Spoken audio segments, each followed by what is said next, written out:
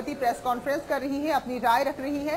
तो एक बार फिर से चार बजे का वक्त रखा है जब मायावती मीडिया से मुखातिब होंगी।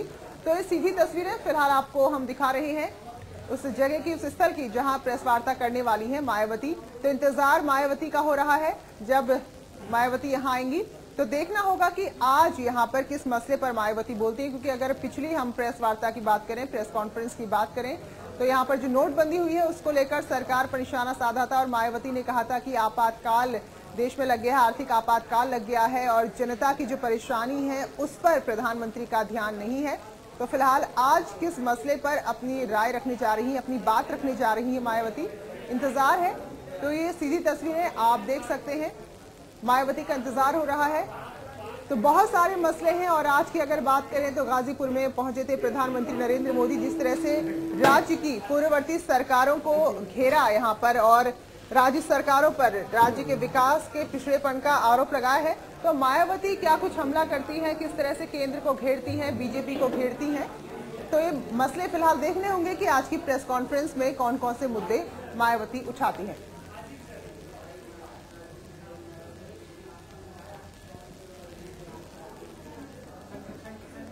तो चलिए, मायावती जब आएँगी, तब हम आपको उनकी प्रेस कॉन्फ्रेंस में ले चलेंगे, बस आने ही वाली, लेकिन तब तक पहाड़ पॉलिटिक्स में कुछ खबरें आपको बताते चलें।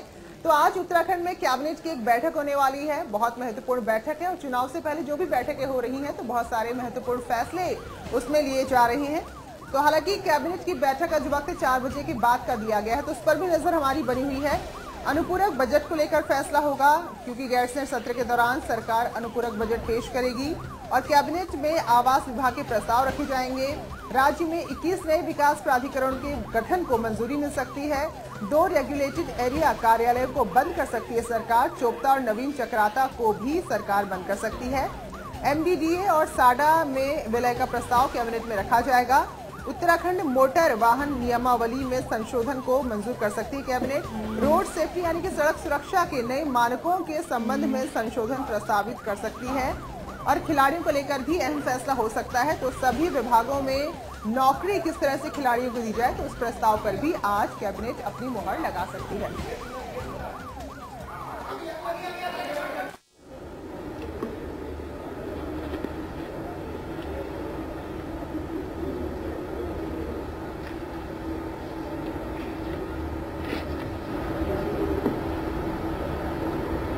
मीडिया बंधुओं आज की ये प्रेस कॉन्फ्रेंस खास तौर से आज गाजीपुर में बीजेपी की हुई रैली में, जो बुरी तरह से फ्लॉप हुई है,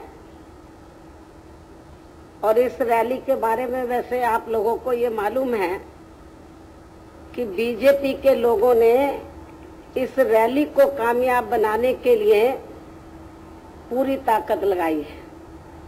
और मुझे गाजीपुर के लोगों ने ये बताया है कि इस रैली में जो लोग उधर पहुँचे हैं तो ज़्यादातर बिहार के लोग हैं।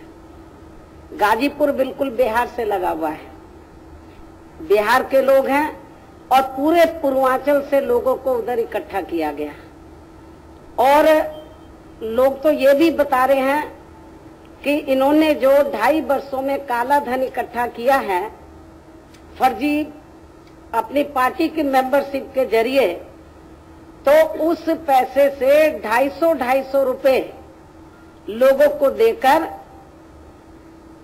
प्रत्येक मेंबर को देकर तो ये लोग बसों में लाए हैं और रेलगाड़ियाँ इन्होंने फ्री कर दी थी। जिन लोगों को लाए, वो किराए से नहीं आए हैं। एक तरफ़ तो श्री नरेंद्र मोदी ये कहते हैं कि मैं भ्रष्टा, मैं भ्रष्टाचार के, करप्शन के खिलाफ हूँ। तो वहीं दूसरी तरफ़ तो इन्होंने जो सरकारी रेल है, उसका राजनीतिकरण कर दिया। और बिना भाड़े के, बिना किराए के तो रैली में लोगों को लाया गया। क्या श्री नरेंद्र मोदी ये जवाब देंगे? अपने गिरेबान में झाँक कर देंगे? वो कितने दूध के धूले हैं?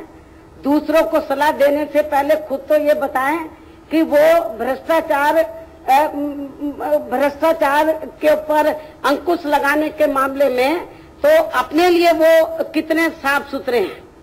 वो कितना उसके ऊपर अमल करते हैं? पहले ये तो बताएँ। और आज की जो गाजीपुर की रैली हुई, बुरी तरीके से फेल हुई है। और एक लाख लोग भी, पूरी ताकत लगाकर एक लाख लोग भी इकट्ठे नहीं हो पाए। मुश्किल से बीस पच्चीस हज़ार लोग इकट्ठे हो पाए, जबकि पूरे बिहार की ताकत रेल फ्री कर दी, बसें फ्री कर दी, दिहाड़ी में लोग लाए गए। और पूरी ताकत लगाकर ये रैली की, और रैली बुरी तरीके से फ्लॉप हुई है, फेल हुई है, ये किसी से छिपा नहीं है। हालाँकि चाहे मीडिया, चाहे बीजेपी के लोग मीडिया को मैनेज करके तो वो जो भीड़ दिखा रहे थे, मैंने ये देखा ज़्यादातर वो भीड़ सोनभद्र की दिखा रहे थे। कुछ सोनभद्र की दिखा रहे थे, कुछ अलग अलग इधर उधर की भीड़ दिखाकर तो तब जाकर वो मीडिया में अपना चेहरा दिखा पा रहे थे कि रैली में बहुत लोग आए, लेकिन ये रैली बुरी तरीके से फ्लॉप हुई है। और आज जो गाजीपुर में बीजेपी की रैली हुई है तो इस रैली में प्रधानमंत्री श्री नरेंद्र मोदी का जो भाषण हुआ है, उस पर अपनी पार्टी की प्रतिक्रिया ज़ाहिर करते हुए मैं ये कहना चाहती हूँ कि प्रधानमंत्री ने, प्रधानमंत्री श्री नरेंद्र मोदी ने अपनी पार्टी की गाजीपुर की हुई रैली में अपने पूरे भाषण के दौरान जितने समय भी में उन्होंने भाषण दिया है, अपने पूरे भाषण के दौरान आज जो कुछ भी कहा है, वे पूर्ण रूप से थोता चना व बाजे गना थोता चना व बाजे घना की ही तरह था। और सबसे पहले उन्होंने अपने भाषण में खासकर भ्रष्टाचार के मुद्दे पर बोलते हुए जो ये कहा है कि बेईमानों से, आज़ादी के बाद से अब तक की काली कमाई के हिसाब लिए जाएँगे। अच्छी बात है। इस पर हमारी पार्टी का भी ये कहना है कि देश की आम जनता हर प्रकार के भ्रष्टाचार काला धन जमाखोरी व राष्ट्रीय संपत्ति की लूट आदि के अभिशाप से स्थायी मुक्ति चाहती है। और इस संबंध में हमारी पार्टी हर कड़े फैसले व सजा का तय दिल से स्वागत भी करती है। जिसके क्रम में ही उसने, यानी कि देश की आम जनता ने, कांग्रेस पार्टी को केंद्र व ज़्यादातर राज्यों की सत्ता से बाहर कर दिया है। ये किसी से छिपा नहीं है। परंतु प्रधानमंत्री श्री नरेंद्र मोदी की सरकार काला धन व भ्रष्टाचार पर अंकुश लगाने की आड़ में देश की करोड़ों आम जनता को ही खुले आसमान के नीचे लाकर खड़ा करवा देगी। इस भयावह स्थिति की कल्पना लोगों ने कभी भी नहीं की थी। और वहीं दूसरी तरफ़ केंद्र की भाजपा सरकार ने महा भ्रष्टाचारी ललित मोदी व विजय माला को देश से भगा दिया, बाहर भेज दिया, विदेश भेज दिया। और साथ ही देश में छियासठ हज़ार करोड़ रुपए के काले धन को भी सफ़ेद करवा दिया। और उनमें से किसी का भी काला चेहरा आम जनता के सामने नहीं आने दिया। अभी तक नहीं आया है। किंतु 500 व 1000 रुपए के नोटों पर पाबंदी लगाकर देश के गरीबों, मजदूरों, किसानों, कर्मचारियों, महिलाओं, बच्चों, छात्रों, युवकों, बुज़ुर्गों, मरीजों, लाचार लोगों को भारी मुसीबत में डालकर उन्हें घंटों घंटों खुले आसमान में खड़ा करवा करके सामूहिक तौर पर जन पीड़ा देने का ये गलत काम अवश्य ही इन्होंने किया है। इस प्रकार देश की आम जनता को सामूहिक तौर पर ऐसी कड़ी सजा क्यों? इसका जवाब श्री नरेंद्र मोदी को ज़रूर देना होगा। इसके अलावा देश की लगभग समस्त आर्थिक गतिविधि व करोड़ों छोटे व मध्यम व्यवसायों को ठप करके यहाँ भारत बंद का जो आयोजन भाजपा सरकार द्वारा किया गया है, जैसे हालात अब पैदा हो गए ऐसा लग रहा है जैसे भारत बंद हो गया हो।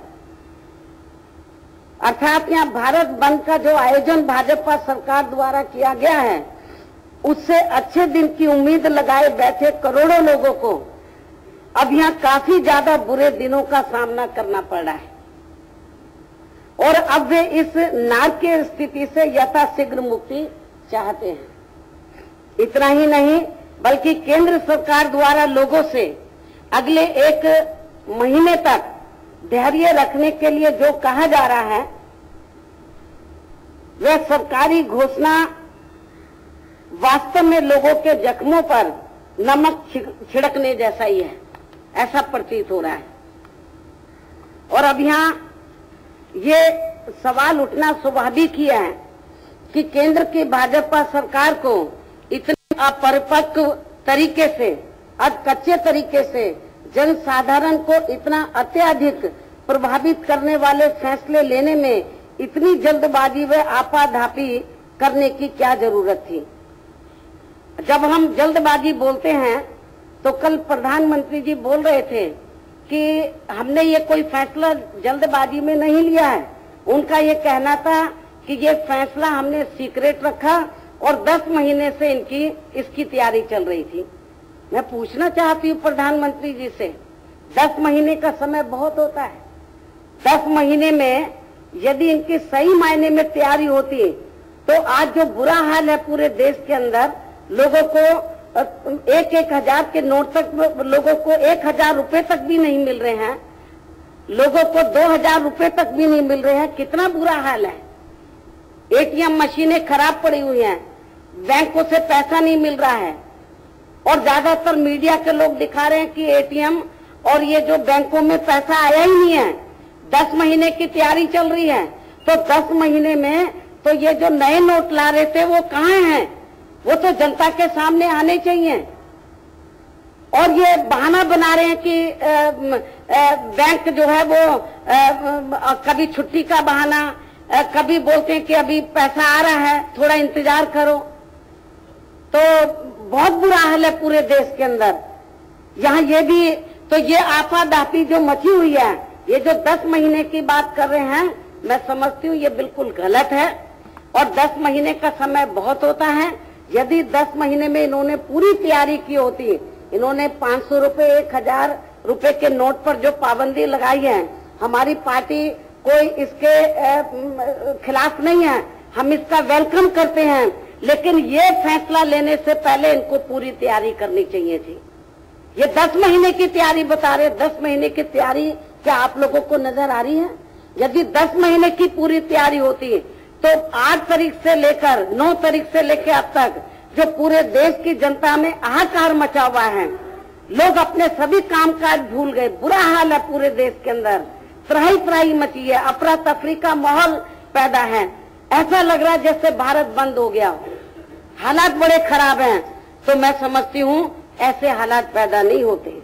यहाँ ये भी उल्लेखनीय है कि प्रधानमंत्री श्री नरेंद्र मोदी की सरकार ने इसी प्रकार की जिद्दी भरी वे अपरिपक्व पूर्ण किसान विरोधी फैसला नया भूमि अधिग्रहण कानून बनाने के संबंध में भी पहले लिया था। जैसे ये अभी अब कच्चा फैसला लिया है, अपरिपक्व फैसला लिया है।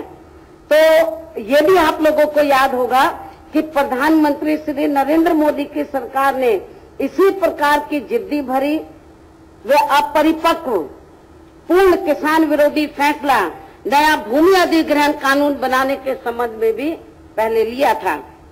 और उसके लिए एक ही अध्यादेश को अनेकों बार जारी करने की हट धर्मी भी की थी। हालाँकि बाद में भारी जन विरोध के मद्देनजर फिर इनको अपने उस फैसले को वापस भी लेना पड़ा था। ये भी आप लोगों से छिपा नहीं है। इसके साथ ही इन्होंने देश में 500 व 1000 रुपए की नोटबंदी पर बोलते हुए ये भी कहा, आज ये भी कहा गाजीपुर में कि मेरे इस फैसले से देश में अमीर नींद की गोलियाँ खाकर और गरीब चैन की नींद से सो रहा है। आज उन्होंने गाजीपुर में ये कहा कि मेरे इस फैसले से देश में अमीर नींद की गोलियाँ खाकर और गरीब चैन की नींद से सो रहा है। जो इनका ये बयान पूर्णता हवा हवाई व खोखला है। इसमें सिव, इसके सिवाय कुछ भी नहीं है। जबकि इस मामले में वास्तव में सच्चाई ये है कि इनके इस फैसले से देश में गरीब नींद की गोलियाँ खाकर और अमीर अमीर जो लोग हैं चैन की नींद से सो रहे हैं। गरीब लोग या तो मारे मारे घूम रहे हैं लाइन लगाकर घूम रहे हैं या बेचारे जब उनको पैसा नहीं मिल रहा है तो सही मायने में नींद की गोली खाकर तो गरीब लोग बेचारे अपने घर में पड़े हैं भूखे प्यासे। बहुत बुरा हाल है उनका। और अमीर लोग चैन की नींद से सो रहे हैं। ये उनको बोलना चाहिए था, जो इस समय के वर्तमान हालात हैं। जिनकी मदद के लिए, यानी कि जिन अमीर लोगों की मदद के लिए जो चैन की नींद से सो रहे हैं, जिनकी मदद के लिए इन्होंने 500 व एक हज़ार रूपए के नोटों पर प्रतिबंध लगाने से पहले ही अंदर अंदर व्यवस्था भी कर दी थी। ऐसी ये आम चर्चा लोगों में है। इसके साथ ही आज उन्होंने अपने पूरे भाषण में, गाजीपुर में, आज उन्होंने अपने पूरे भाषण में, उत्तर प्रदेश के विकास व उत्थान के बारे में ज़्यादा कुछ न बोलते हुए, अधिकांश घूम फिर कर बार बार भ्रष्टाचार पर ही बोलते हुए ये कहा है कि उत्तर प्रदेश की जनता ने मुझे भ्रष्टाचार को खत्म करने के लिए ही देश का प्रधानमंत्री बनाया है, जिसे मैं पूरा करने में लगा हूँ।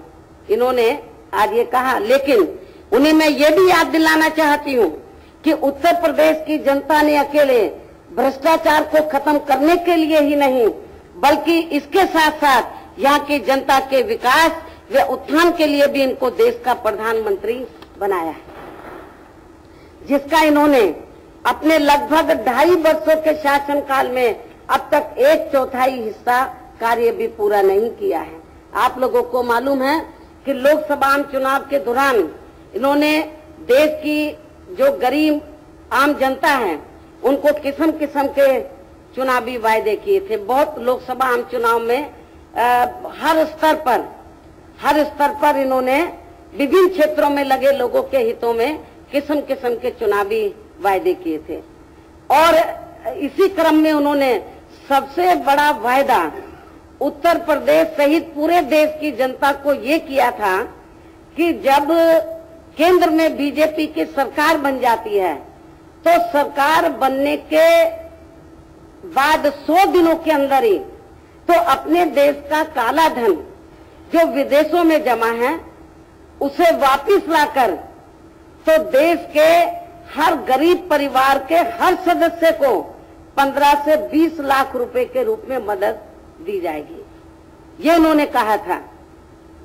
वायदे तो बहुत किए थे, लेकिन पूरे देश की जो गरीब आम जनता है तो उन्होंने सोचा कि भाई ये तो वोट ही तो देना है, फ्री में 15-20 लाख रुपए मिल जाएँगे तो हम तो बहुत माला माल हो जाएँगे। एक परिवार में मान लीजिए पाँच लोग गरीब हैं, और पाँच लोगों को पंद्रह से बीस लाख रुपए मिलेंगे, बहुत माला माल हो जाएँगे तो लोगों ने इनको वोट दे दिया।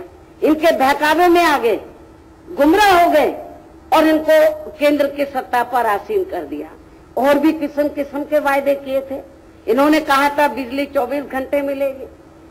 कोई भी बेरोजगार नहीं रहेगा।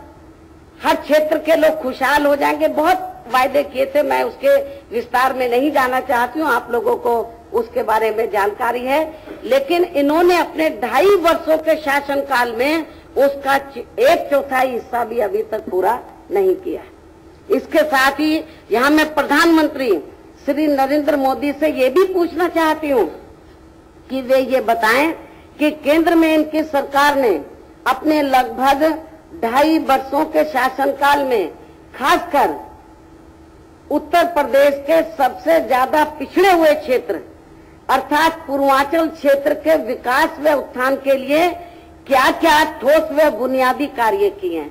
ढाई वर्षों में आज ये गाजीपुर में अपनी रैली करने के लिए गए।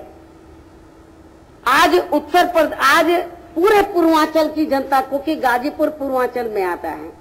आज पूरे पूर्वांचल क्षेत्र की जनता तो श्री नरेंद्र मोदी से यह जानना चाहती है, मैं उनकी ओर से, पूरे पूर्वांचल क्षेत्र की जनता की ओर से, मैं श्री नरेंद्र मोदी से पूछना चाहती हूँ कि इन्होंने अपने ढाई वर्षों के शासनकाल में तो उत्तर प्रदेश का जो पूर्वांचल क्षेत्र है, जो उत्तर प्रदेश में सबसे ज़्यादा पिछड़ा हुआ है तो उसके विकास में उत्थान के लिए अभी तक केंद्र की सरकार की ओर से क्या क्या ठोस व बुनियादी कार्य किए हैं?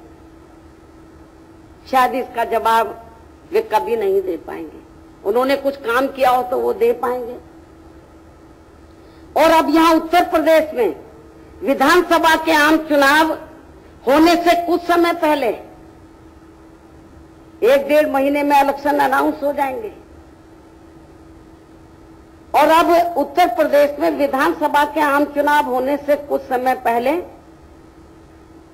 यहाँ को, यहाँ कुछ घोषणाएँ पूरे उत्तर प्रदेश में जगह अब होगा क्या? कि पूरे उत्तर प्रदेश में जहाँ जहाँ भी प्रधानमंत्री की रैलियाँ होंगी तो अब ये लोग करेंगे क्या? ढाई साल में इन्होंने कुछ नहीं किया। आज गाजीपुर में इन्होंने पूर्वांचल का ये बड़ी रैली की, जो बुरी तरीके से फेल हुई। तो इन्होंने ढाई साल में पूर्वांचल के डेवलपमेंट के लिए कोई काम नहीं किया, ठोस और बुनियादी। लेकिन अब उनके वोटों के लिए आज उन्होंने कुछ घोषणाएँ की हैं, कुछ शिलान्यास आदि किए हैं। उनको अपनी ओर आकर्षित करने के लिए। और अब मुझे ऐसा लग रहा है कि जहाँ जहाँ भी बीजेपी के अब ये प्रोग्राम हो गए, ढाई साल में कुछ किया नहीं है। और अब ये एक डेढ़ महीने में प्रधानमंत्री श्री नरेंद्र मोदी बिहार प्रदेश के पैटर्न पर चलकर जो उन्होंने बिहार में किया असेंबली के चुनाव होने से पहले उसी पैटर्न पर चलकर अब ये उत्तर प्रदेश में भी तो यहाँ उत्तर प्रदेश की जनता को क्यों से हिसाब मांग रही है ढाई साल का उत्तर प्रदेश की जनता कि ढाई साल में आपने जो लोकसभा के आम चुनाव में चुनावी वायदे किए थे उसका हिसाब दो। अब इन्होंने कुछ काम किया नहीं। तो अब बिहार प्रदेश की तरह ही तो अब उत्तर प्रदेश में जब चुनाव के लिए बहुत कम समय रह गया है तो चुनाव होने से पहले तो अब ये बीजेपी के जितने भी राष्ट्रीय नेता हैं या केंद्रीय मंत्री हैं प्रधानमंत्री श्री नरेंद्र मोदी, अब होगा क्या कि जगह जगह भी इनके पास कुछ बचा तो है नहीं विचारों के पास? अब ये करेंगे क्या कि जगह जगह जाएँगे और अब किस्म किस्म के शिलान्यास करेंगे, विभिन्न मुद्दों को लेकर या विभिन्न मंत्रालयों से संबंधित शिलान्यास करेंगे, घोषणाएँ करेंगे।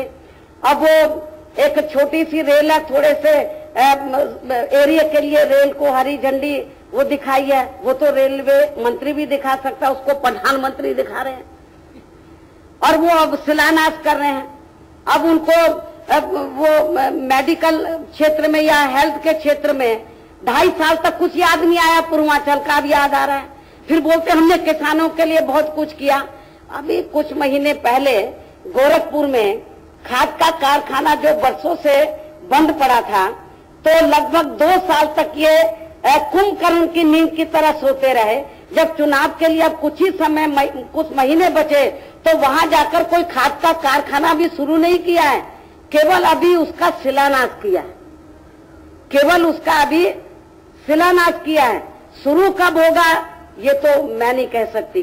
मुझे नहीं लगता कि ये शुरू होने वाला है, ये चुनाव के दौरान। तो इसलिए अब अपने ढाई वर्षों में इन्होंने कुछ नहीं किया।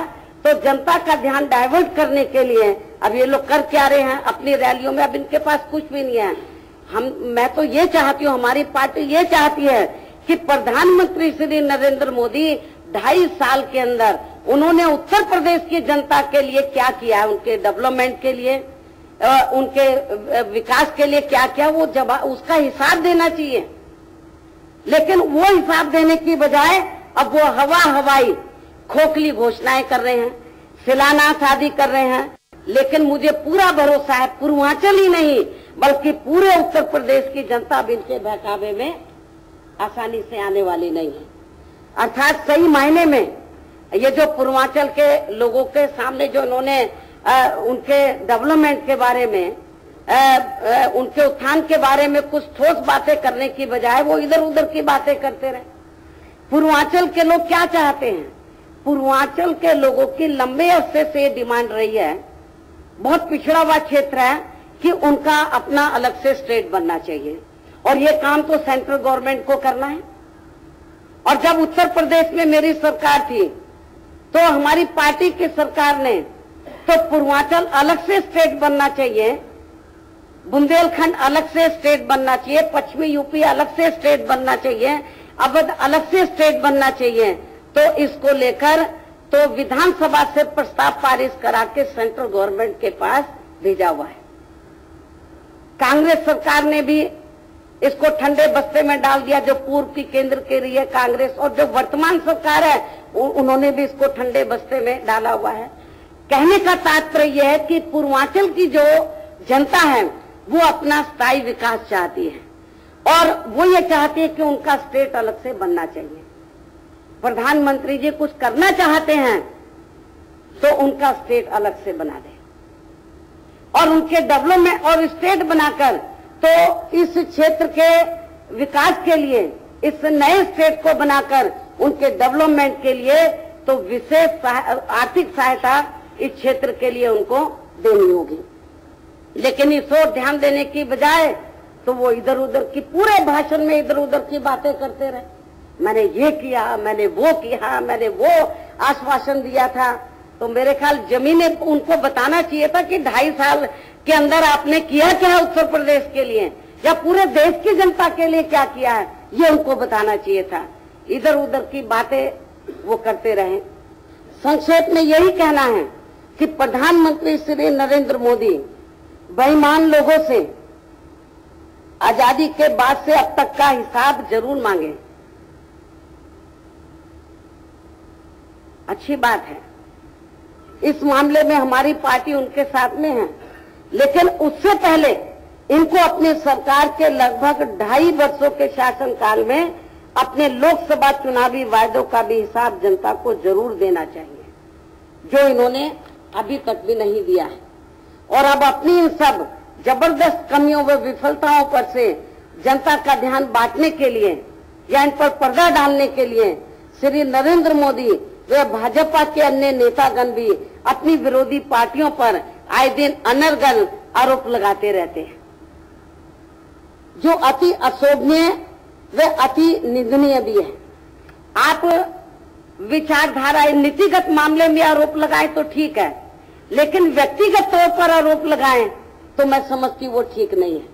और इसी क्रम में बीजेपी के लोग अब आए दिन बीजेपी के लोग ही नहीं, राष्ट्रीय नेता भी, प्रधानमंत्री श्री नरेंद्र मोदी भी।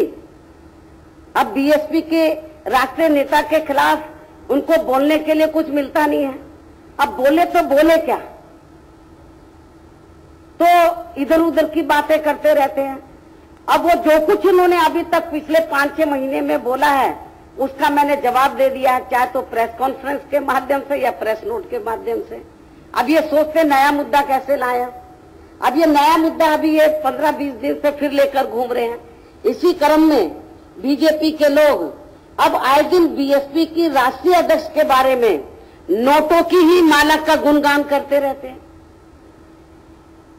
जबकि इस मामले में ये सभी जानते हैं कि बीएसपी के लोग अपनी नेता को काली कमाई के नोटों से नहीं बल्कि अपने खून पसीने की कमाई का थोड़ा थोड़ा धन इकट्ठा करके तब नोटों की माला पहनाकर अपनी नेता का स्वागत करते हैं। ये किसी से छिपा नहीं है पा नहीं है। और बार बार ये कह देना, अभी जो इन्होंने डिसीज़न लिया काले धन पर, अंकुश लगाने को लेकर, लेकिन मैं ये बताना चाहती हूँ कि ये जो आरोप लगाते रहते हैं, जो खासकर बीजेपी के लोगों को अभी तक भी आसानी से हजम नहीं हो पा रहा है। नोटों की माला ये पहनते रहे। पूरे देश के अंदर नरेंद्र मोदी को चाहे कितने लोग नोटों की माला पहना दें, चाहे इनके और राष्ट्रीय नेताओं को पहना दे तो उनको अच्छा लगेगा। लेकिन एक दलित की बेटी को नोटों की माला से सम्मानित किया जाए, ये इनके गले के नीचे से नहीं उतरता है। इससे इनकी आज भी दलितों के प्रति हीन व जातिवादी मानसिकता साफ़ झलकती है। ये स्पष्ट तौर पर है। तो इसलिए मैं आप लोगों को ये कहना चाहती हूँ कि बीजेपी के जो राष्ट्रीय नेता हैं, विरोधी पार्टियों के बारे में यदि विरोध करना है तो वो नीतिगत मामलों को लेकर करें तो बेहतर होगा। लेकिन ऐसी छिचोरी बातें करेंगे। और एक प्रधानमंत्री की कुर्सी पर बैठकर ऐसी घटिया बातें करेंगे। और खासतौर से एक दलित की बेटी के बारे में तो आप लोग समझ सकते हैं कि इनकी मानसिकता अभी भी दलितों के मामले में इनकी सोच बदली नहीं है। और अब मैं अंत में यही कहना चाहूँगी कि प्रधानमंत्री श्री नरेंद्र मोदी का खासकर भ्रष्टाचार के मुद्दे पर दिया गया भाषण जो आज गाजीपुर में उन्होंने भाषण दिया है, वैसे तो कल भी कई जगह दिया है। तो उसके बारे में तो मैंने प्रेस नोट जारी करके अपनी प्रतिक्रिया ज़ाहिर कर दिया, उसको मैं दोहराना नहीं चाहती हूँ। और अब मैं अंत में यही कहना चाहूँगी कि प्रधानमंत्री श्री नरेंद्र मोदी का, खासकर भ्रष्टाचार के मुद्दे पर आज गाजीपुर में दिया गया भाषण पूरे तौर से बौखलाट का भाषण था। और ऐसा लग रहा था कि वे अपने भाषण में 500 व 1000 रुपयों की नोटबंदी पर लिए गए अपने इस अधकच्चे व अपरिपक्व फैसले की जैसे सफ़ाई दे रहे हैं।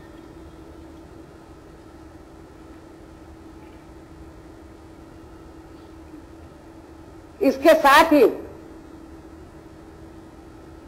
यहाँ मैं इनको फिर से ये कहना चाहती हूँ कि उत्तर प्रदेश का जो चुनाव है तो भ्रष्टाचार के मुद्दे के साथ साथ इनके लोकसभा चुनावी वायदों के हिसाब किताब पर भी होगा। ये भी भारतीय जनता पार्टी के लोगों को, नेताओं को और खासकर प्रधानमंत्री श्री नरेंद्र मोदी को ज़रूर याद रखना चाहिए। ये इधर और उधर की बातें चाहे कितनी भी करते रहे, लेकिन उत्तर प्रदेश की जनता उनसे ज़रूर ये हिसाब मांगेगी कि आप अपने ढाई वर्षों का जो आपका शासनकाल रहा है, आपके केंद्र की सरकार को बने हुए लगभग आधा समय बीत चुका है तो ढाई वर्षों में आपने क्या किया है? देश की जनता ये भी उनसे हिसाब मांगेगी। और उत्तर प्रदेश की जनता और जिन राज्यों में अभी चुनाव होने वाला वो तो मांगेंगे ही। और आगे, जब लोकसभा का आम चुनाव होगा, तब तो पूरे पाँच साल का जवाब मांगेंगे। ढाई साल में इन्होंने क्या किया है, इनको ये जवाब देना होगा। तो इन्हीं कुछ ज़रूरी बातों पर क्योंकि आज वो उत्तर प्रदेश में आए थे, और गाजीपुर में उन्होंने जो कुछ बोला है, उसके ऊपर मैंने प्रतिक्रिया देना ज़रूरी समझा, और और भी कुछ, और भी कुछ उन्होंने बहुत कुछ बोला है, उसके ऊपर प्रेस नोट के ज़रिए आपको डिटेल में जानकारी दे दी जाएगी। हालाँकि मुझे आज दिल्ली जाना था 16 तारीख से पार्लियामेंट का सत्र शुरू हो रहा है। तो लेकिन जब मुझे मालूम, जब मुझे लगा कि इनका प्रोग्राम हालाँकि सारे, इनका जो प्रोग्राम गाजीपुर का है तो मैं सोचा प्रेस नोट से ही काम चल जाएगा। मैं दिल्ली जाकर जारी कर दूँगी। मुझे लगा प्रेस नोट नहीं, मुझे प्रेस में जाना चाहिए। तो इसलिए मुझे अपना प्रोग्राम भी थोड़ा सा डिले करना पड़ा है। मुझे आज ही दिल्ली भी जाना है। तो इसलिए मैंने खुद प्रेस में आकर आप लोगों के सामने अपनी बात रखनी पड़ी है। बाकी डिटेल में प्रेस नोट के ज़रिए पूरी जानकारी दे दी जाएगी। इन्हीं लफ्जों के साथ मैं अपनी बात यही समाप्त करती हूँ। धन्यवाद।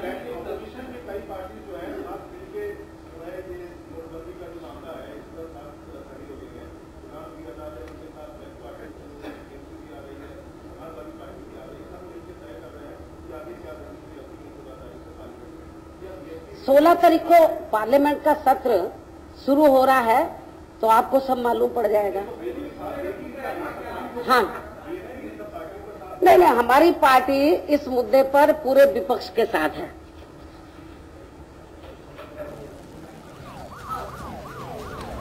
तो बड़ी बातें। मायावती के इस प्रेस कॉन्फ्रेंस की बड़ी बातें क्या रही, वो हम आपको बताते हैं। सीधे सीधे आज प्रधानमंत्री नरेंद्र मोदी की गाजीपुर की रैली निशाने पर रही मायावती के। वो फैसला जिस पर प्रधानमंत्री की हर तारीफ़ हो रही है, मायावती ने सीधा कहा कि आज गाजीपुर की रैली में जब प्रधानमंत्री बोल रहे थे तो ऐसा लगा कि बौखलाहट में भाषण दे रहे हैं। मायावती ने कहा कि उनका यह फैसला यानी 500 और हज़ार रुपए के नोट बंद करने का फैसला अध कच्चे और, अपरिपक्व फैसले थे। और ऐसा लगा जैसे आज गाजीपुर में प्रधानमंत्री इसी बात पर सफ़ाई दे रहे थे। सबसे बड़ा हमला इससे पहले आपने देखा कि मुलायम सिंह यादव ने भी इस नोटबंदी के फैसले पर सवाल खड़ा किया था। दूसरे राज्यों में भी कई पार्टियों ने सवाल खड़ा किया लेकिन सबसे तीखा हमला मायावती ने किया है। इस वक्त नोटबंदी के ऊपर एक प्रेस कॉन्फ्रेंस में मायावती ने जहाँ एक और गाजीपुर की रैली की, पोस्टमार्टम की, वही दूसरी ओर नोटबंदी के फैसले को कच्चा और अपरिपक्व बताया है। मायावती ने सीधा हमला कहा, सीधा हमला करते हुए कहा कि गाजीपुर की रैली में जो भीड़ नज़र आ रही थी, वो दरअसल उत्तर प्रदेश की भीड़ थी ही नहीं, वो भीड़ बिहार से बुलाई गई थी और ऐसे लोगों को इकट्ठा किया गया था। दिखाने की कोशिश हुई थी कि हम भीड़ लेकर पहुँचे। हैं मायावती ने यह भी आरोप लगाया। गाजीपुर में ज़्यादातर बिहार के लोगों की भीड़ थी। ढाई ढाई सौ रुपए देकर इस रैली में लोग बुलाए गए थे। यह भी मायावती ने आरोप लगाया है। नोटबंदी पर लोगों को नुकसान हो रहा है। अमीर, चैन की नींद सो रहा है। गरीब कतार में खड़े हैं। मायावती ने यह भी कहा, पूरी ताकत छोकने के बाद भी प्रधानमंत्री की इस रैली में, जो कि नोटबंदी के बाद उत्तर प्रदेश में पहली रैली थी, एक लाख भी लोग नहीं जुटा पाई बीजेपी।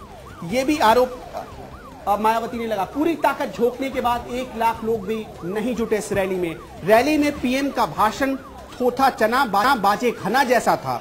जनता को लाइन में प्रधानमंत्री ने खड़ा कर दिया है। छियासठ हज़ार करोड़ के काले धन को सफ़ेद किया गया। विजय माल्या को केंद्र ने भगा दिया। ये भी आज मायावती ने लगाए हैं। अच्छे दिन की उम्मीद में जनता बैठी थी, लेकिन अच्छे अच्छे दिन नसीब नहीं हुए।